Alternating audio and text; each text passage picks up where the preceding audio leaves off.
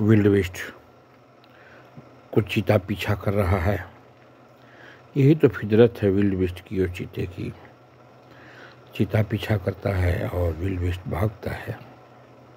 लेकिन इस बार चीते के मन में कुछ और है। इसने पैंतरा बदल रखी है और जिस तरह से चीता विल्ड बिस्ट को पीछा करता है। उस तरह से लगता है।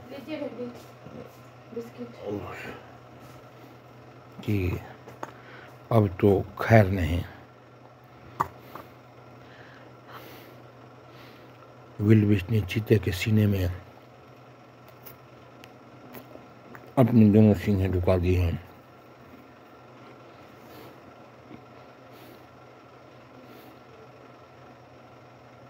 अब चीता करे तो क्या करे? विल्ड बिस्ट को मारने वाला आज खुद ही मर रहा है। मौत के दरवाजे पर खड़ा है।